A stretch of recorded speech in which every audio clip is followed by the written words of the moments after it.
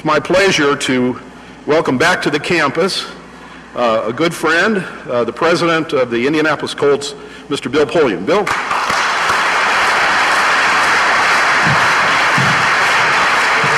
Ladies and gentlemen, it is um, a great pleasure for me to be here and to um, officially announce that uh, the Colts will uh, have training camp here at Anderson University.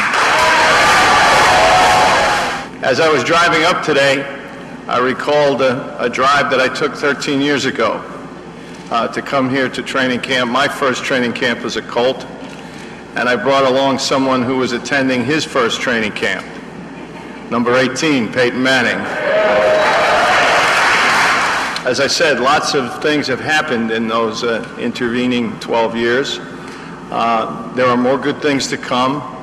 Um, the future in, in, our league is unfortunately uncharted right now, but uh, our focus is, um, is on the present and, uh, and what we can do to um, get our team ready to contend again for a title uh, this coming year.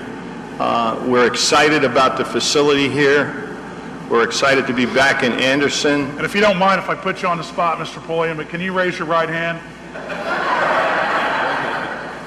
Do you promise that you guys are coming here